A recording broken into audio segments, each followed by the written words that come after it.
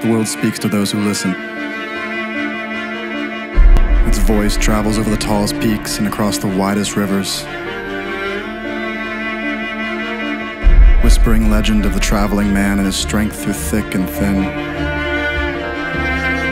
It tells the story of his past and how none of it matters. How he climbs the world.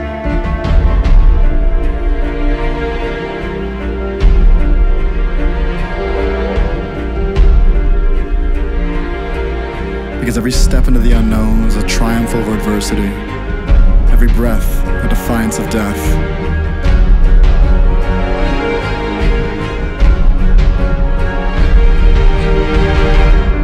And at the edge, he shares his journey with the world. And it listens. It's your turn. Be legendary.